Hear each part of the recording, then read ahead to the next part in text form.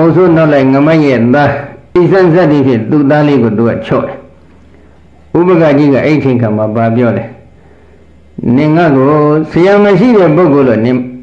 မအောင်မိပါနဲ့ငါမှအာကိုတိုက်တဲ့အနန္တဇိနာအမည်ရှိတဲ့ဆရာရှိပါတယ်သူကဒါလေးပဲစိတ်ဖြစ်စွဲနေတယ်နော်စိတ်နဲ့ဆွနေနေတဲ့ဒေါသဝအပေါ်မှာတွေ့တယ်မေမောနေတဲ့စိတ်ဓာတ်တွေကမြုပ်နဲ့ဖြည့်ရှင်းလို့မရသေးတော့တော်တော်လေးတော့ကျင်းထားတယ်ကျင်းထိုင်တဲ့မိုးဆိုးကြီးတော့ လိုက်လိုက်ပြီးတော့ဒီလိုအသားထိုင်ရန်ကနေပြီးတော့ဒေါသဝလည်းမကြိုက်မှန်းပြီးတော့သူကစူလိုက်အောင်လိုက်ဆောင်းလိုက်နဲ့ဆောင်းလိုက်ချိတ်လိုက်အမြဲတမ်းလှုပ်တယ်အဲဒီလိုဆောင်းလိုက်ချိတ်နဲ့လှုပ်ချင်းနေပြီဘုန်းကြီးကတော့တော်တော်သဘောကျသွားတယ်ဘာဖြစ်လို့သဘောကျလဲအဲဒီလိုစူလိုက်အောင်လိုက်ဆောင်းလိုက်စောင်းလိုက်ချိတ်လိုက်လှုပ်တဲ့အတွက်ဥပက္ခကြီးကဒေါသဝါအပေါ်မှာစိတ်ညာပြီးထွက်တာအကယ်၍သာ ဒေါသဝါကနေပြီးတော့ကြီးကြီးမှုနဲ့ချော့မြူထားမယ်ဆိုလို့ချင်းအဲ့ဒီတကဒီနေ့တကကြီးတွေအိမ်ကမဆင်းတယ်လို့ပဲဥပက္ခကြီးလည်းအဲ့ဒီအိမ်ကဆင်းမှာမလားမဆင်းဘူးဒီတော့ဒေါသဝါကစောင်းလိုက်ချိတ်လိုက်နဲ့စူလိုက်အောင်လိုက်စောင်းလိုက်လှုပ်တဲ့အတွက်အိမ်ကနေဒီနေ့တော့သူက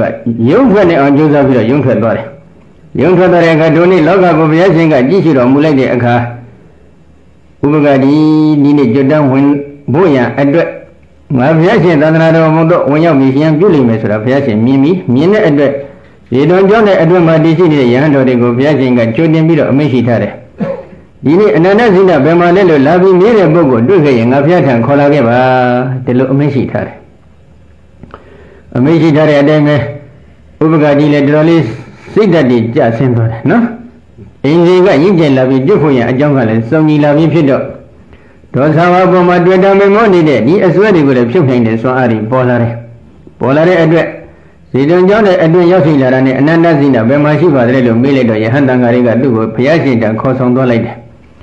ဘုရားရှင်ကလည်းသင်အိမ်ကလည်းမောင်းချလိုက်ပြီအိုးမစွန်းလည်းဖြစ်နေပြီသူတို့ကလည်းလောက်မကျွေးနိုင်တော့ဘူးဒီတော့သင်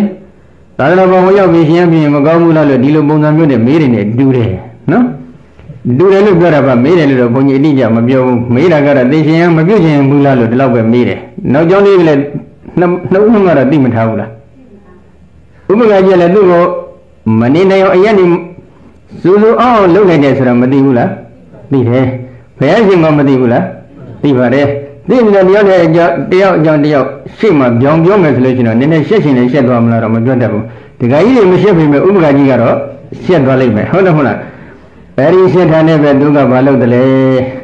သာသနာ့ဘဝဝင်ရောက်ပြီးရှင်ပြုတယ်တရားအထုတ်လိုက်တာမကြမ်းဘူးမှအနာဂတ်မိမညာဘုံညာစိုက်သွားတယ်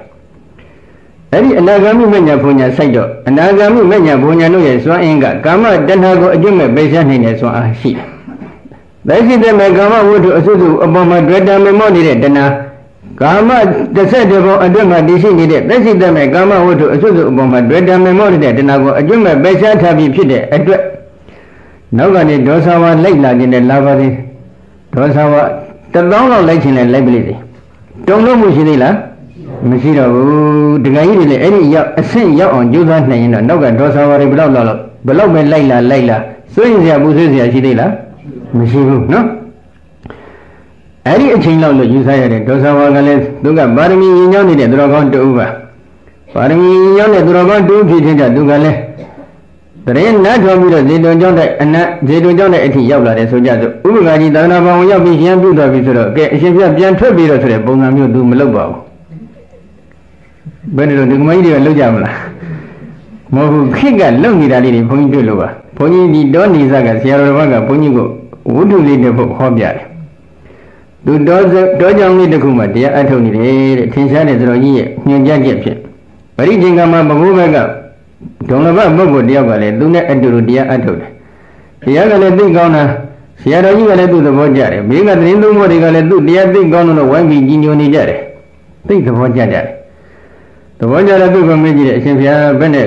လူ့ဘဝမှာပြန်ပြီးသွားဖို့များစိတ်ကူးနေတယ်အာဒီပြီးတော့ဘယ်တော့မှစိတ်မကူတော့ဘူးဟန်ကြပြီလေးလလောက်ကြာသွားတယ်လေးလလောက်ကြာတော့ဘဂုကအိမ်ရှင်မကလိုက်လာတယ်လိုက်လာပြီးတော့ဗာပြောလဲခတ်တင်းနေမယ်သူကကဲအရှင်ဘုရား ထွက်မလားမထွက်ဘူးလားခက်ရှင်းရှင်းပြောတယ်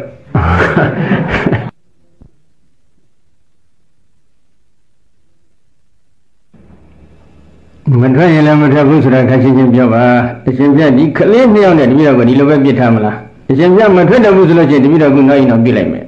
ခက်တင်းနေမယ်အဲ့တော့ဘာဖြစ်သွားလဲညနေကျအုတ်ထုတ်ကလေးဆောင်ပြီးပါသွားတယ် အဲ့ဒီပုံစံမျိုးမဟုတ်ဘူးခုဒီမှာအနာဂတ်မညာရနေတဲ့အတွက်ဒေါသဝါဘယ်လိုပဲလာ၆၆ဥပကကြောက်အောင်မလားမကြောက်တော့ဘူးဒေါသဝါလည်းမ၆ပါဘူးဟုတ်တယ်မလားဘုန်းကြီးကတော်တော်ကြီးညိုတဲ့ဒေါသဝါလည်းသူစုစုအောင်အောင်လှုပ်လိုက်တဲ့အတွက်အကျိုးကျေးဇူးများပုံနဲ့ဘုန်းကြီးကထပ်ပြောခြင်းတယ်ဒေါသဝါကလည်းဘိက္ခုနီကျောင်းတိုက်သွားပြီးဘိက္ခုနီမှပြုသာသနာပေါင်းရရှင်ပြုပြီးတော့တရားအထုတ်လိုက်တာအရတ္တမေအရတ္တဘုအထိစိုက်သွားတယ်ဒေါသဝါရတ္တမေအရတ္တဘုမဆိုင်မီအချိန်လောက်လို့ယူဆရပါတယ် ဥပကကြီးကအနာဂမိမညာဘုံညာရပြီးမကြပြီးမကြပြီးအချိန်ကာလအတွင်းမှာပဲကွယ်လွန်ပြီးတော့သုဒ္ဓဝါဒပြမပြီးအဝိဟာဘုံမှာရောက်ရှိသွားတယ်။အဝိဟာဘုံရောက်တဲ့တပြိုင်နက်တည်းတရားဘာဝနာတွေကိုဆက်လက်ပြီးတော့ကြိုးပကြိုးစားအထောက်လိုက်တာအရတ္တဘုဆိုင်ရတ္တဘုဆိုင်ပြီးတဲ့မကြမီအချိန်ကာလအတွင်းမှာဥပကကြီးကအဝိဟာဘုံမှာပြိဋိဘံဆံသွားပါတယ် ဒေါသဝါကတော့လူဘုံမှာဘေခုနီဘဝအဖြစ်ယဟန္တာဖြစ်ပြီးတော့ပြိဋိဘံဆံသွားတယ်နှစ်ဦးလုံးပြိဋိဘံဆံရတဲ့အတွက်မကောင်းဘူးလားဒါကြောင့်ဒကမကြီးတွေလည်းဘုန်းကြီးကတိုက်တွန်းကြပါတယ်အိမ်မှာစူးစူးအောင်အောင်လေးသာလုပ်ပေးပါဟုတ်တယ်မဟုတ်လားဒီဒကာကြီးတွေကမနေနိုင်အောင်သာအိမ်ကနေမောင်းတန်ချအကျိုးမရှိဘူးလားအကျိုးရှိတယ်ခုဒီမှာလည်းဒီတိုင်းပဲညကဘုန်းကြီးပြောခဲ့တဲ့စကားလေးတခုဘုန်းကြီးကတော့နည်းနည်းပြန်လွန်သွားသလားလို့ဆိုပြီးနည်းနည်းပြန်စဉ်းစားနေတယ် သူရမသာသမီကိုကျွန်ခန္ဓာခွေးဖြစ်တော့ကျွန်ခန္ဓာရပါတယ်ဆိုတော့တချို့သဘောပေါက်ခြင်းနဲ့ပေါ့မယ်သဘောမပေါက်တော့လည်းရှိတယ်ရှိမယ်ဘုန်းကြီးနည်းနည်းတောင်းရှိနေတဲ့တူတယ်ပြန်ရှင်းပြဖို့နော်ရိုင်းလို့ဖြစ်နေတယ်နာမည်ကျော်ဖြစ်တဲ့ဒကမာကြီးတွေဒကာကြီးတွေကြားမှုမဲ့ဝတ္ထုလေးတစ်ခုရှိပါတယ်ငရင်သားကိုသုံးပိုင်းပိုင်းပြီးတော့အလဲပိုင်းဒီငါတရားသူကြီးနဲ့ဆိုင်နေဆိုပြီးခြိပြည့်တဲ့မြေခွေးအကြောင်းကြားမှုကြမယ်နော်အဲ့ဒါဘယ်သူလဲဆိုတော့နာမည်ကျော်ဖြစ်တဲ့အရှင်ဥပနန္ဒအလောင်းပါပဲ တာဂီမမင်းသားဖြစ်တဲ့အရှင်ဥပနန္ဒရဲ့အလောင်းထရာဖြစ်ပါတယ်အရှင်ဥပနန္ဒကတာဂီမမင်းသားလည်းဖြစ်တဲ့ဥပရိယုလည်းကောင်းတယ်တရားဟောပြောလည်းကောင်းတယ်ကောင်းတဲ့အတွက်ကြီးညိုတဲ့ပုဂ္ဂိုလ်တွေလည်းများတယ်လူတန်းနေတဲ့တက္ကသိုလ်မတွေလည်းများတယ်ပစ္စည်းလေးပါလည်းပေါ်ပါတယ်ဒါပေမဲ့ဒီပစ္စည်းလေးပါနဲ့ပတ်သက်ပြီးသူကလျှက်ပေါ်လော်လီနေတဲ့စိတ်ထားသိအကောင်းတယ်လျှက်ပေါ်လော်လီတဲ့ဒီစိတ်ထားအကောင်းခြင်းကြောင့်တစ်ချိန်မှာဥဒ္ဒနု တော့ကြောင့်တကြောင့်မသူကဝါဆိုဝါကတယ်ဆိုကြပါစို့သူကအကြောင်းပြပြီးသိခါဘုတ်တွေတော်တော်များများပြညာရတယ်ဒီကြောင့်မှဝါဆိုတကဘယ်နှဆောင်ရတယ်ဒီကြောင့်ကနှစ်ဆောင်ရတယ်ဆိုဒီကြောင့်မှငါဝါဆိုမယ်ဆိုပြီးအဲ့ဒီမှာသူထီးလေးထားခဲ့တယ်နောက်တစ်ကြောင်တော့ပြန်တော့နောက်တစ်ကြောင်ကျတော့ဒီနေရာမှာဝါဆိုတကနှစ်စုံတစ်စုံရတယ်အဲအဲ့ဒီမှာလည်းငါဝါဆိုမယ်ဆိုသူဖဏကလေးထားလိုက်တယ်တစ်ကြောင်ကျတော့တပိတ်ကလေးထားလိုက်တစ်ကြောင်ကျတော့တန်ခါလေးထားလိုက်အဲ့ဒီလိုစနစ်အဖြစ်ဝါဆိုကြောင့်သုံးလုံးကြောင့်တော့ခွပြီးသူကဝါဆိုတယ် သုံးလုံးကြောင်းခွပြီးဝါဆိုလိုက်တဲ့အတွက်ဘာဖြစ်တယ်လဲလို့မေးတော့ကျောင်းတကများကရှေ့ရခင်ကသူတို့ကျောင်းမှာဝါဆိုဝါကတ်တော်မူတဲ့ယဟန်တော်များကိုဝါဆိုလျင်ဝါဆိုတငန်းဝါကျွတ်တော့ဝါကျွတ်တငန်းဆိုပြီးဒီလိုတငန်းကြီးလှူတတ်အဲ့ဒီတငန်းကြီးကိုသူကမေမောတဲ့စိတ်ဓာတ်ဖြင့်သုံးလေးချောင်းခွပြီးဝါဆိုတယ်အဲ့ဒါကိုအကြောင်းပြုပြီးတော့ဘုရားရှင်ကကဲဝါဆိုကြောင်းနှစ်ကြောင်းသုံးကြောင်းခွပြီးဝါမဆိုရဝါဆိုကြောင်းတစ်ကြောင်းဘာသာလေဝါဆိုရမယ်ဆိုသိခတ်ဖို့ပညာရပြန်တယ် လာတူပဲခုနာမည်ကျော်ဖြစ်တဲ့ဥဒ္ဒနရွှေငွေအလှမခံရခြင်းဆိုတဲ့လုပ်ငန်းကိစ္စတစ်ခုဆိုကြစို့ဒါလည်းဒီသာဝိမင်းသားအရှင်ဥပနန္ဒကနေပြီးတော့ရွှေငွေအလှခံတဲ့အတွက်ပညာယဟန်ဒီရွှေငွေကိုအလှမခံရဆိုပြီးသိက္ခာဖို့ပညာတော်မူရခြင်းဖြစ်တယ်။အလားတူပဲခုနကဥစဉ်ပြောတဲ့တောကြောင့်လေးတစ်ကြောင့်မှသူတို့ဝါဆိုကြတယ်။ဝါဆိုလိုက်တဲ့အချိန်ကကျတော့သူကအရိယဝတ္တကထာလို့ခေါ်ဆိုအပ်တဲ့ဘုရားဆက်ရှိသောရှိရှိအရိယတော်ကောင်းတို့ပစ္စည်းလေးပါးနဲ့ဆက်ဆက်ပြီးဘယ်လို ချိုးချိုးချမ်းချမ်းဖြင့်သုံးဆွဲခဲ့တယ်ဆိုတာကိုသူကကြကြနက်နက်ဟောတတ်တယ်။ဟောတတ်တဲ့အဲ့ဒီကြောင့်မှလည်းဝါဆိုတာထွန်းနှစ်ကတန်ခါ30ကျော်လောက်ရှိတယ်သူဟောတဲ့တရားကိုတန်ခါတော်ရိကသဘောကျပြီးတော့တန်ခါကောင်းပြီဆိုတာတွေအကုန်လုံးစွန့်ညံ့ပြီဆိုတဲ့တန်ခါကိုရွေးပြီးတော့ဝတ်ကြတယ်ကောင်းပြီဆိုတဲ့တပိတ်တွေအကုန်လုံးစွန့်မကောင်းတဲ့တပိတ်တွေသာသုံးကြတယ်အဲ့ဒီနည်းစနစ်အဖြစ်သူတန်ခါတွေကပြုကျင်လိုက်တဲ့အချိန်ကသူကဘာလုပ်တယ်လဲအဲ့ဒီကောင်းတဲ့တန်ခါတွေအကုန်လုံးသူကသိကောင်းတဲ့တပိတ်တွေအကုန်လုံးသူကသိ သိပြီးတဲ့အချိန်ကကြတော့မှဝါကြတော့လက်ကြီးနဲ့တင်ပြီးတော့သာဝတိပြန်ပြီးပြန်လိုက်တော့လန်ခုလတဏီယာရောက်ပြီဆိုကြစို့လန်ခုလတဏီယာရောက်တဲ့အခါကျတော့ခြေတော့ကိုຫນွယ်လေးတွင်ကသွားညှိတယ်ညှိလိုက်တဲ့ဧကန္တကဒီနေရာမှာလည်းလက်ရမယ်နဲ့တူတယ်ဟိုကြည့်ကြည့်ကြည့်လိုက်တော့မနှမကမှတွဲရကြောင်လေးတခုသွားတွေ့တော့အဲ့ဒါနဲ့တွဲရကြောင်လေးဝင်သွားရောဝင်သွားလိုက်တဲ့ချိန်ကကျတော့အဲ့ဒီမှာတောအတွက်ဥစဉ်ကြီးနှစ်ပါးကဝါဆိုဝါကကြတယ်ဝါဆိုဝါကတော့သူတို့ဘာဖြစ်တယ်လဲ တငန်းသုံးဆောင်ရတယ်ရှီချတန်ခန်းကနှစ်စုံကပလာတန်ခန်းကအတစုံသုံးစုံရကြတယ်တောတဲ့ဥစ္စကြီးနှစ်ပါးအဲ့ဒီတန်ခန်းသုံးစုံကိုတော်ရင်းလုံးဝေနေတာဘယ်လုံးမှဝေလို့မရအဝေမတက်ဖြစ်နေဝေမတက်ဖြစ်နေတော့ရှင်ဥပနန္ဒရောက်လဲလာရောကဲအရှင်ဘုရားတပည့်တော်တို့တော့ဒီတန်ခန်းသုံးစုံရတဲ့အခါဝါစုတန်ခန်းကသုံးစုံမှာခုအဝေမတက်ဖြစ်နေတယ်အရှင်ဘုရားဝိနည်းတော်ပြုလုပ်ပြီးတော့ဒီတန်ခန်းကိုဝေဖန်ပြီးတော်မူပါ အာအရှင်ဘုရားတပည့်တော်ကအလုံးများတယ်ကိစ္စတွေလည်းများတယ်တပည့်တော်လုံးမပေးနိုင်ဘူးအာဟောဝိုင်းပြီးတောင်းမှန်းတယ်နည်းနည်းမူတာပါဒါတကယ်လုံးပေးကြည့်နေတာနော်နည်းနည်းမူတာသူကတည်းကအတင်းတောင်းမှန်းတယ်အေးအရှင်ဘုရားတို့တောင်းမှန်းရင်လည်းတပည့်တော်လုံးပေးမှာပေါ့စသဖြင့်ပြောပြီးတော့အဲ့ဒါနဲ့သူကဝိနည်းတော်လုံးမယ်ဆိုတော့သူကတန်ခန်းသုံးစုံယူခိုင်းလိုက်တယ်ယူပြီးတော့ကဲလားအရှင်ဘုရားကဒီပိဿငန်းတစုံယူအရှင်ဘုရားကလည်းဒီပိဿငန်းတစုံယူဒီကမလာသင်္ကန်းကတော့တပည့်တော်ဝိနည်းတို့နဲ့ဆိုင်တယ်ယူပြီးရော ယူပြီးတဲ့အခါကျတော့နောက်ကကိုရောကြီးနှစ်ပါးကလည်းမကျေနပ်ဘူးသူကလည်းတောက်ထီထီဇေတုံထီပြေးတယ်ကိုရောကြီးနှစ်ပါးကလည်းမကျေနပ်တော့နောက်ကနေလိုက်လာတယ်လိုက်လာပြီးတောက်ထီပြင်းကိုဇေတုံကျောင်းတဲ့ရောက်တဲ့အချိန်ကအကျိုးကြောင့်တင်ပြလျှောက်ထားကြတော့ဒီစကားကဘုရားရှင်ရွှေနတော်အထိပေါက်ကြသွားတယ်ပေါက်ကြတော့ဘုရားရှင်ကအဲ့ဒီမြေခွေးနဲ့ဖြန်အကြောင်းဆိုတဲ့ဒီဝတ္ထုဇလန်းလေးဟောပေးတာပါနော်ဥပနန္ဒဟာဂုမသာနဲ့ပြည်စည်းလေးပါးနဲ့လျှက်ပေါ်လော်လနီမဟုတ်သူဘာတို့အပေါ်နဲ့ခေါင်းမုံဖြတ်ခဲ့ဘူးဒီမဟုတ် ရှေးရခင်တုန်းကလည်းဒင်းဒီပြည်စည်းလေးပါးနဲ့ပတ်သက်ပြီးလျှက်ပေါ်လော်လင်းခဲ့ဘူးတဲ့ခေါင်းမုံဖြတ်ခဲ့ဘူးတဲ့ဆိုပြီးတော့အများကြဘူးတဲ့ဒီမြေခွေးနဲ့ဖြန်အကြောင်းဝတ္ထုလေးဟောပေးတာဟောပေးလိုက်တော့အလုံးသိကြတဲ့အတိုင်းပဲဒီငချင်းကိုသုံးပိုင်းပိုက်ပြီးတော့အလဲပိုင်းဒီငါတရားသူကြီးနဲ့ဆိုင်တယ်ဆိုပြီးတော့ခြီးပြီးတယ်အဲ့ဒီမှာဘုန်းကြီးတံဝေကရတာလေးတခုတော့ရှိတယ်ဒီငကြင်းနဲ့ပတ်သက်ပြီးတော့ဝေစုမတဲ့လို့လွတ်နေတဲ့ဖြတ်နှစ်ကောင်းဆိုတာကအဲ့ဒီတော့တဲ့ဥစဉ်ကြီးနှစ်ပါးဖြစ်နေခက်ပုံကနော်ဒီ ဖြံဘဝတုန်းကလည်းဒီငကြင်းသားနဲ့ပတ်သက်ပြီးသူတို့ကအဝေမတက်လို့လွတ်ခဲ့ရတယ်ယဟန်ဘဝရောက်တော့လဲတငန်း30ကမလာတငန်းနဲ့ပတ်သက်ပြီးအဝေမတက်လို့လူနေရပြန်တယ်ဝါဒနာဓမ္မစ္စကပ်ပတ်တတ်တဲ့သဘောပြောတာပါနော်အရှင်ဥပအရှင်ဥပနန္ဒကြည့်လိုက်တော့လဲဖြံဘွားတော့ကလည်းသူတော်ရဲ့ပစ္စည်းကိုခေါင်းပုံဖြတ်ခဲ့ဘူးတယ်ယဟန်ဘွားရောက်တော့လဲခေါင်းပုံဖြတ်ခဲ့ဘူးတယ် နောက်ထပ်ပုံပြီးသတိထားစရာအချက်ကလေးတစ်ခုကခုကလာချင်းနံပါတ်ကုတ်တယ်ပုံစံနဲ့နည်းနည်းတူးနေတယ်ဘယ်လိုတူလဲဆိုတော့အဲ့ဒီမြေခွေးကဒီငကြင်းပိုင်းကိုခေါင်းပုံဖြတ်ခွင့်ရသွားတဲ့အပိုင်းမှာဘာကြောင့်သူကသွားရတယ်လဲဆိုတော့အကြောင်းရှိပါတယ်အဲ့ဒီအကြောင်းကိုဘုန်းကြီးကပြောချင်တာပါဒါပေမဲ့နောက်ထပ်အကြောင်းတစ်ခုကတော့အဲအဲ့ဒီအကြောင်းကိုအရင်ပြောလိုက်မယ်နော်အဲ့ဒီငကြင်းသားသူကအရှာထွက်တာဘာဖြစ်လို့လဲ သူ့မှာမာယာဝီအမည်ရှိတဲ့မြေခွေးမာလေးတစ်ကောင်ရှိတယ်အဲ့ဒီမြေခွေးမာလေးကနေပြီးတော့ငကြင်းသားစားကြင်မာလေးဆိုပြီးချင်းချင်းတက်တဲ့အခါကျတော့မောင်မင်းကြီးသားကငကြင်းသားအရှာထွက်ရတာတခါကြီးတွေစိန်ကရှာဖို့မာစီရီရှာဖို့ထွက်ရတဲ့ပုံစံနဲ့တော့နည်းနည်းဆင်ချင်းဆင်မလားမပြောတတ်ဘူးနော်မာယာဝီကနေခိုင်းစီလိုက်တဲ့အတွက်မာယာဝီအတွက်ငကြင်းသားအရှာထွက်ရတယ်ဒါကြောင့်ဘုန်းကြီးက ခွင့်ဖြစ်တော်သူဘာသာသမီးကိုကြုံခါလို့မရဘူးလားလို့မြည်တာဒီမိခွန်းကြည့်ပြီးပြောတာပါနော်ဘယ်နဲ့တော့ကြုံခါလို့မရဘူးလားရတယ်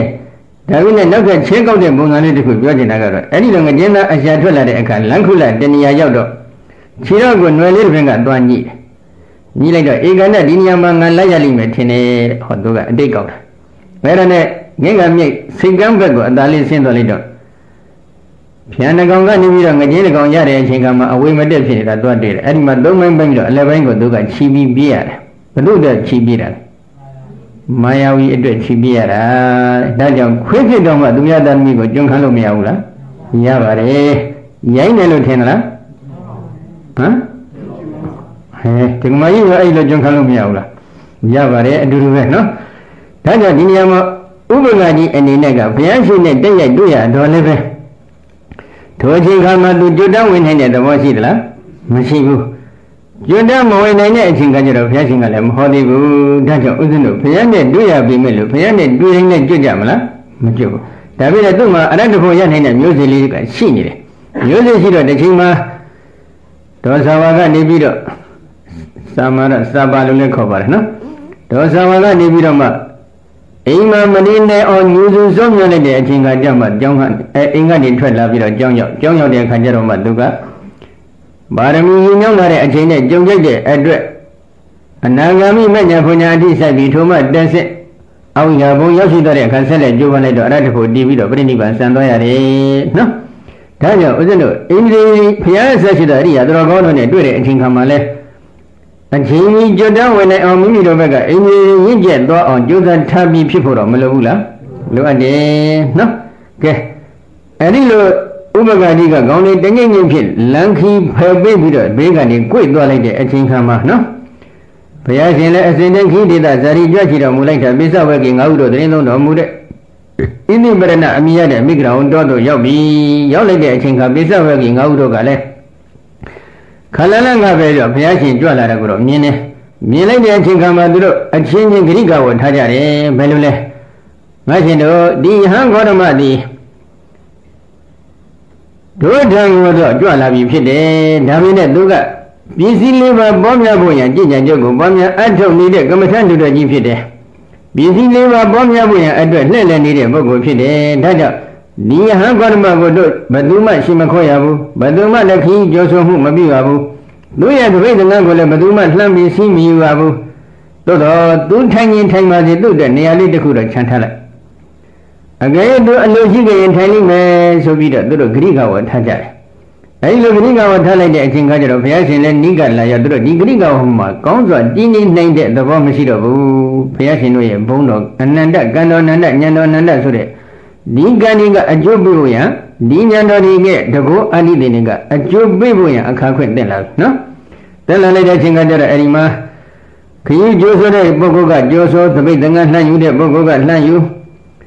ရှင်းခိုးတဲ့ပုဂ္ဂိုလ်ကရှင်းခိုးခြေဆင်းပြီးတဲ့ပုဂ္ဂိုလ်ကခြေဆင်းခြေတုပ်ပြီးတဲ့ပုဂ္ဂိုလ်ကခြေတုပ်နေရာခင်းပြီးတဲ့ပုဂ္ဂိုလ်ကနေရာခင်းစသဖြင့်အလုံးဝကြီးဝငယ်တွေပြုကြပါတယ်အဲဒီလိုဝကြီးဝငယ်တွေပြုပြီးတဲ့အချိန်ကကြတော့မှ ဘုရားရှင်ကသူတို့ကဘာအမိန့်ရှိလဲသူတို့ကမြတ်စွာဘုရားကို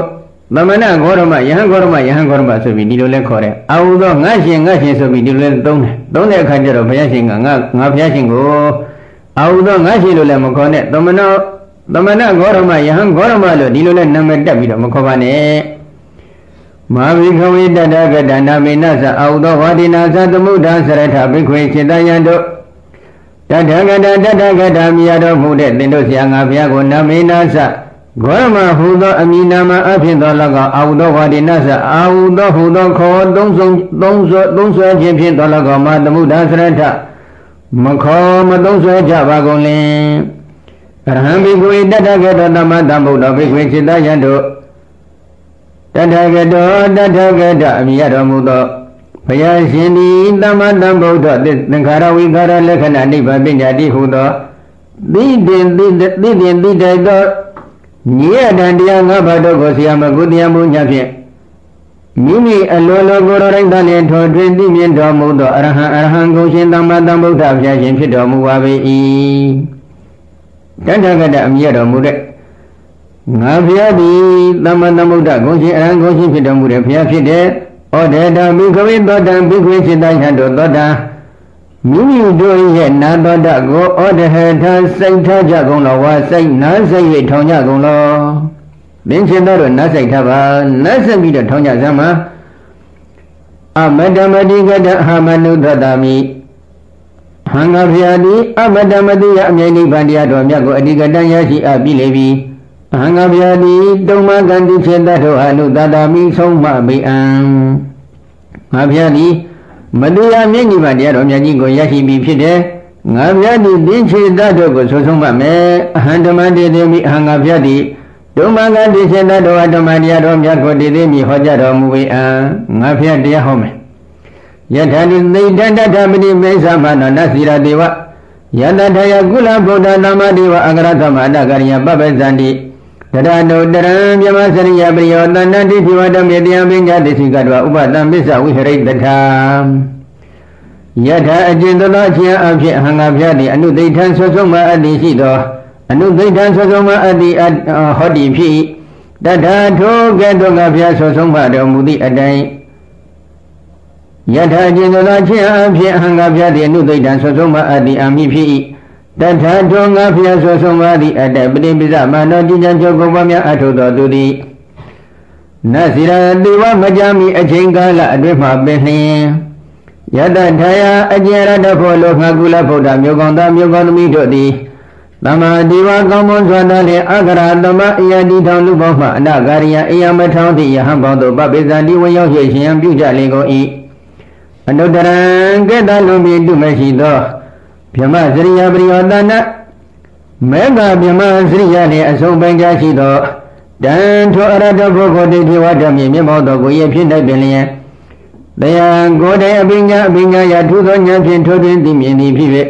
သစ္စိကတဝါမျက်မှောက်ပြည့်ရဲ့ဥပဒံပိစ္ဆပြည့်စုံကရောက်စဉ်ရဝိဟိတထတိထိုင်နိုင်ကြပါကုန်လိမ့်မယ်ရှိသတို့ငါဖျားဆွဆုံးမှသည့်အတိုင်း လိုက်နာကြည်ကြကြကိုဘာများအထုတ်တဲ့ပုဂ္ဂိုလ်သည်မကြာမီအချိန်ကာလအတွင်းမှာပဲအကျရတ္တဖို့အလုတ်ကရည်ရွယ်ပြီးတော့အမျိုးကောင်းသားတွေအမျိုးကောင်းသမီးတွေအိယာတိတော်လူပေါင်းမှအိယာမထောင်းသည့်ယဟန်ပေါင်းတို့ကောင်းစွာဝင်ရောက်ပြီးရှင်ပြုကြတယ်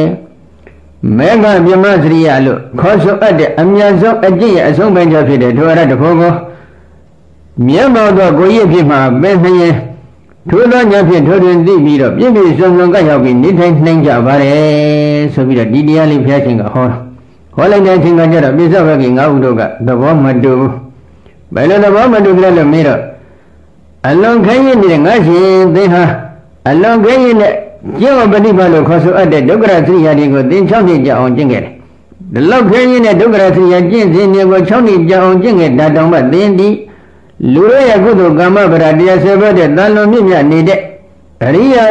အရိယာအဖြစ်ကိုရောက်အောင်ပို့ဆောင်ပြီးနေတဲ့ဆွမ်းအားရှိတဲ့အရိယာမဲ့ညာဘုံညာဆိုတဲ့ဉာဏ်မြင့်တုတွေကိုသင်မရရှိခဲ့ဘူး။ဘုရားမှာသင်ကပစ္စည်းလေးပါပေါ်များဖို့ရန်လှက်လဲနေတဲ့ပုဂ္ဂိုလ်ဖြစ်တယ်။ကမ္မထံခွေမထွက်ခွာလာတဲ့ကမ္မထံလူတွေကြီးလည်းဖြစ်နေတယ်။အဲဒီကမ္မထံလူတွေကြီးဖြစ်နေတဲ့သင်္ကဲ့သို့သောပုဂ္ဂိုလ်တယောက်ကဒီမဲ့ညာဘုံညာနိဗ္ဗာန်ကိုရရှိတယ်ဆိုတာဘယ်လို့မှမဖြစ်နိုင်ပါဘူး။ဒီလိုပြန်ပြောတယ်။ အစွဲနော်တော်တော်ခက်တယ်ဒုတိယကျင့်ဘုရားရှင်ကထပ်ပြီးအလားတူပဲအမိတ်ရှိတယ်ဒုတိယကျင့်လည်းညင်းပယ်တယ်တတိယကျင့်ထပ်ပြီးအမိတ်ရှိတယ်တတိယကျင့်လည်းညင်းပယ်ပြန်တယ်ညင်းပယ်လိုက်တဲ့အချိန်ခါကျတော့ဘုရားရှင်ကနောက်ဆုံးဗာအမိတ်ရှိလဲအဘိဇာနာဓမ္မေနောတုံမေဘိခွေဣတောပုပ္ပေဝရူပပပပပဝပပဝိဒမေတံဘိခွေจิตယတို့ မေငါပြတိတုံမေသင်္ချေတတို့ကိုဣတောဤခါမှပုပ္ပေရှိ၌ဧဝရူပံဤကဲဧဝဣတိဣတံဧဝရူပံဤကဲ့သို့သဘောရှိတဲ့စကားမျိုးကိုပပဝီတဟောကြားအပ်ခဲ့မှုသည်ကိုအပိဇာနာထာနောအမှန်ရကြပါကုန်သလားရှိရခင်တော့ကသင်တို့ကငါဖျက်ဒီလိုပြောတဲ့စကားမျိုးကိုသင်တို့အမှတ်ရကြသလားသိရှိကြသလားဒီလိုမေးကြည့်တယ်နောဟိတံပန်းဒီရှိရခင်တော့ကအရှင်ဖျက်တခါမှဒီလိုစကားမျိုးမပြောခဲ့ဘူးပါဘူး အဟံဘိခဝေတတကတောသမန္တံဘုဒ္ဓဩတဟတဘိခဝေသောတအတိတ်အမတမတိကတအဟမနုသတမိဟန္တမန္တေသိပိယထာနိတိတတတပရိပိစမနောတထပရိပိစမာနနာစီရတေဝယတထာယကုလဗုဒ္ဓသမတိဝအကရဏမတကရိယပပဇန္တိတရနုတရံမြမစရိယပရိယောတနန္တိထိဝဓမေတယပညာတိစိကတဝဥပဒံပိသဝိဟရိတထာစိတယတို့ငါမြတ်ရှင်သည်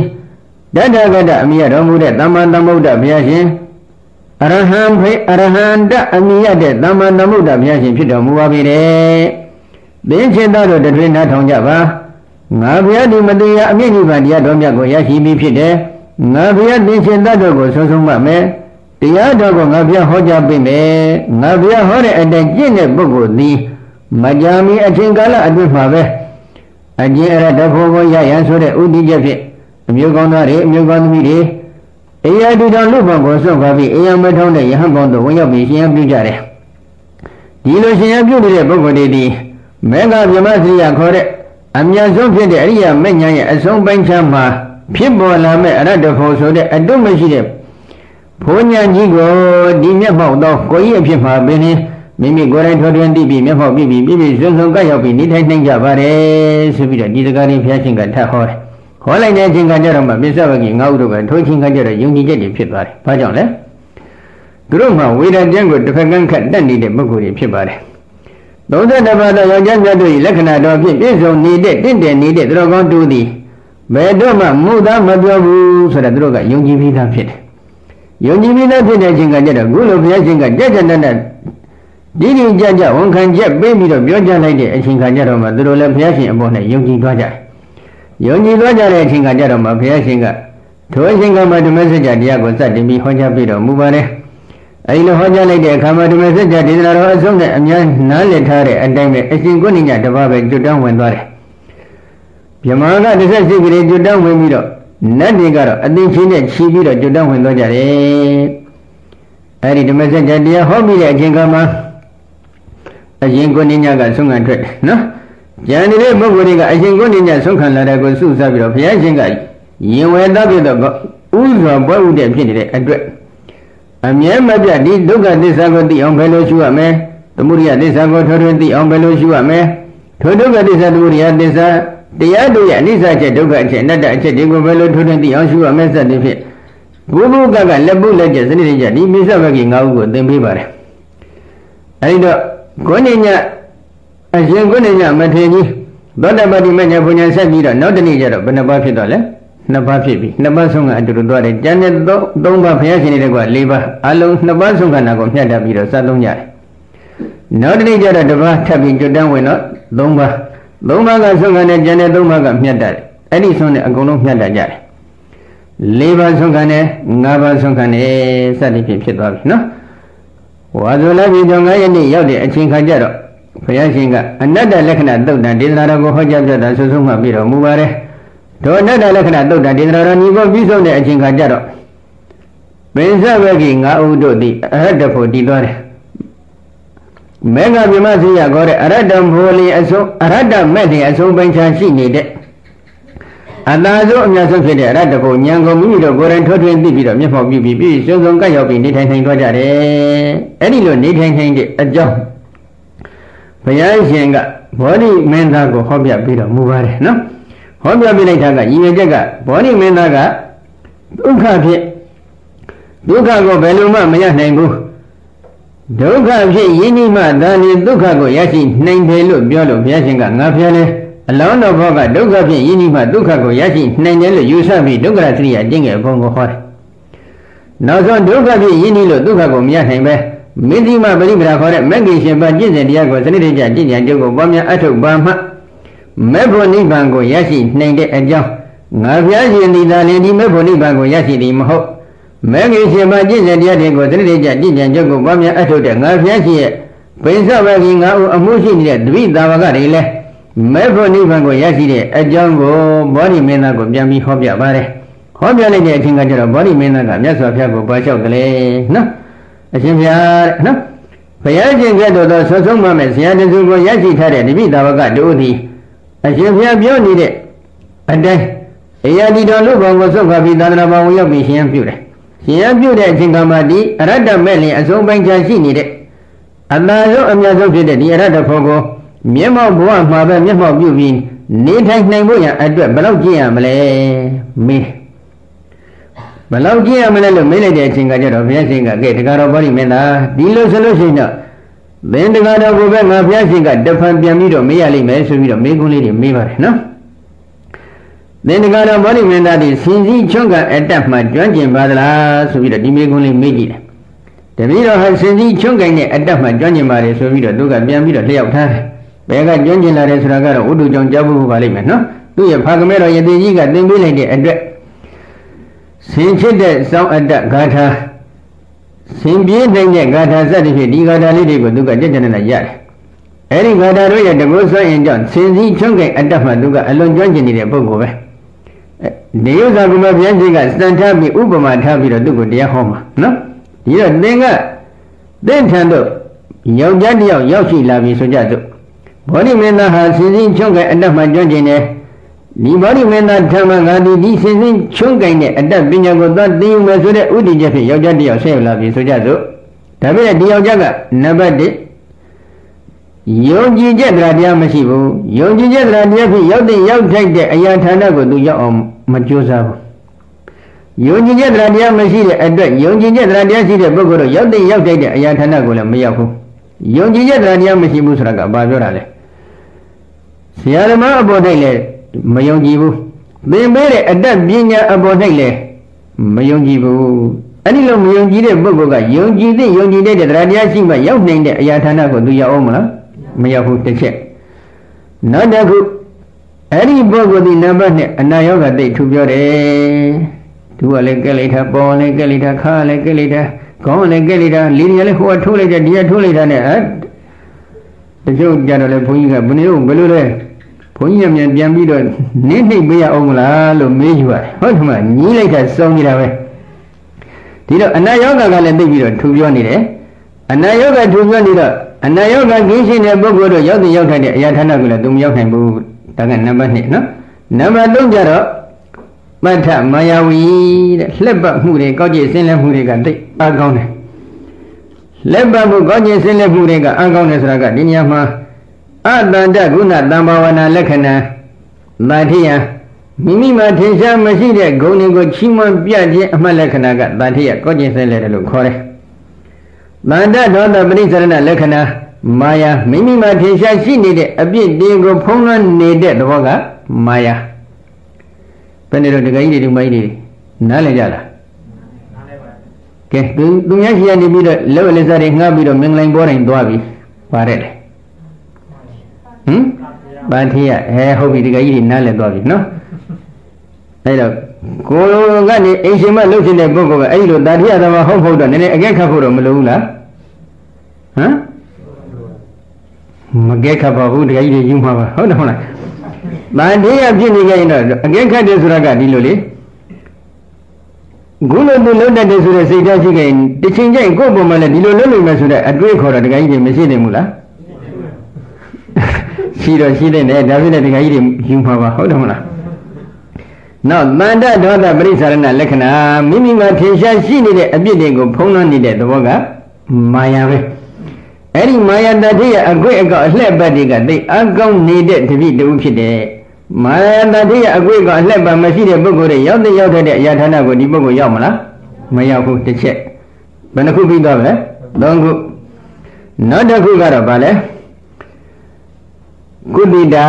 တဲ့နံပါတ်၄သိပြင်းတယ်သိပြင်းတဲ့အခါကျတော့ဘာလုပ်တယ်ဘာလုပ်တယ်ခင်ဗျားကြီးသိပါတယ်ကိုယ်ဉာဏ်မတရားလေးမှတ်ပြီးလမ်းလျှောက်တဲ့ပုံစံလိုလိုဘာလိုလိုပေါ့ဒီဆရာတော်မြင်လို့ရှိရင်နော်နောက်တစ်ခုအိယာထဲမှာတုံးလုံးလှည့်ပြီးနေလိုက်တယ်သွားပြီးလိုက်တဲ့အခါကျတော့တပည့်တော်အကျိုးကြီးတက်လို့ပါတဲ့ခေါင်းကြီးလည်းကြိုက်နေလို့ပါတဲ့ဟုတ်လားဟုတ်မဟုတ်တော့မပြောတတ်ဘူးပေါ့လေနော်ဒီတော့သူအကျိုးတက်တာကိုဘုန်းကြီးကပဲနင်းပြရမယ်ပုံစံမျိုးနဲ့စကားပြောလာတယ်နော် အဲဒီတော့ဒီလိုပြင်းရင်းနေတဲ့ပုဂ္ဂိုလ်ကပုဂ္ဂိုလ်တယောက်ကပြင်းရင်းနေပြီဆိုလို့ရှိရင်အပြစ်ဒဏ်ကျိုးတဲ့အထုတဲ့လုံလဝိညာဉ်ရှိတဲ့ပုဂ္ဂိုလ်တို့ရောက်တဲ့ရောက်ထိုက်တဲ့နေရာကိုသူရအောင်မလားမရောက်ဘူးတစ်ချက်ဘယ်နှချက်ပြီးသားမလဲ၄ချက်နောက်တစ်ခုကတော့ပညာမရှိဘူးတို့ပညာဘယ်လိုပဲသင်သင်သူကတတ်နိုင်တဲ့ပညာမရှိဘူးအဲဒီလိုပညာမဲ့တဲ့ပုဂ္ဂိုလ်ကပညာရှိတဲ့ပုဂ္ဂိုလ်တို့ရောက်တဲ့ရောက်တဲ့အရာဌာနရောက်မလားမရောက်ဘူး အဲဒီတော့ဒီလိုအင်္ဂါ၅ချက်နဲ့ပြည့်စုံနေတဲ့ပုဂ္ဂိုလ်တို့ကသင်္ထမှာစင်ကြီးချုံးကအတက်ကိုလာပြီးသင်ခဲ့မယ်ဆိုရင်ဒီပုဂ္ဂိုလ်တတ်နိုင်ပါမလားတတ်မြောက်နိုင်ပါမလားမေးကြည့်တယ်အရှင်ဘုရားအဲ့အင်္ဂါ900မှထားလိုက်ပါတော့အင်္ဂါတစ်ခုခုနဲ့ပြည့်စုံနေရင်တော့တပည့်တော်ထမ်းမှာဒီပုဂ္ဂိုလ်ဒီယောက်ျားစင်ကြီးချုပ်ကအတက်ကိုလာပြီးသင်မယ်ဆိုလို့ရှိရင်ဘယ်လို့မှတတ်နိုင်မှာမဟုတ်ဘူးအင်္ဂါ9ချက်နဲ့ပြည့်စုံနေမယ်ဆိုလို့ရှိရင်တော့ပြောခွင့်ရတော့မလိုတော့ပါဘူးမြတ်စွာဘုရားဆိုပြီးတော့တင်ပြဖျောက်ထားတယ် အဲ့ဒီခါကျတော့မှဘုရားရှင်ကဘာပြန်ပြီးတော့အမိန့်ရှိတယ်နော်ဒီဥပမာလေးကိုပုံစံထားပြီးတော့ဘုရားရှင်ကဘာအမိန့်ရှိတယ်ဧဝမေဝခောရာဇကုမာရမေစီမာနိပရာဏိယင်္ဂာနိအလားတူပဲတကားတော့ဗောဓိမင်းသားကမ္မထတရားအထုမဲ့ပုဂ္ဂိုလ်မှာအင်္ဂါ900ရှိပါတယ်ဆိုပြီးတော့ဒီတရားလေးဟောပြီးတယ်ဒါမင်းနဲ့ဘုန်းကြီးတခုမေ့သွားတယ်ကြမ်းတယ်ဘုန်းက မဖြစ်နိုင်တဲ့ဘက်ကနောက်ဖြစ်နိုင်တဲ့ဘက်ကမြတ်စွာဘုရားပြန်ဟောပြန်တယ်နော်ကဲပုဂ္ဂိုလ်ယောက်ျားတယောက်ကလာပြီးသင်ပြီးသင်တဲ့အခါမှာဒီယောက်ျားကတစ်ယုံကြည်ချက်တရားတရားလည်းရှိတယ်နှစ်